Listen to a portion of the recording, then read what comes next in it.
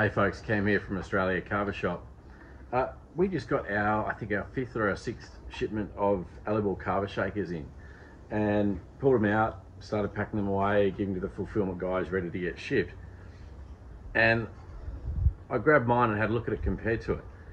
And this is the one we've had from Matt from Kavafied for, I don't know, seven months, eight months. All right. Now, as you've probably seen, it got run over by a two ton SUV. Go for it.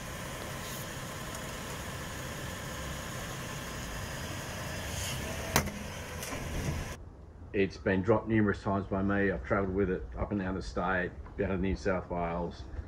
I probably use it three, four minimum times a week. Um, and of that, at least four or five shakes. Um, have a quick look at it if you can. Okay, it's not as pretty, doesn't bounce and shine like the brand new one does, and nor should it, right? Same seal, same gasket.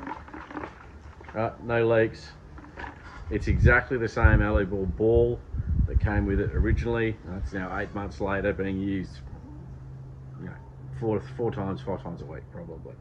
Um, super robust, right? So if you're going to commit to the 60 odd bucks or whatever these are rolling at, and I should know the price, I think it's 59.95.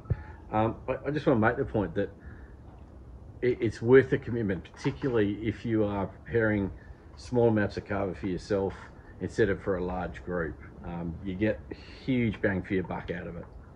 All right, we've got some in stock. Feel free to grab them down here.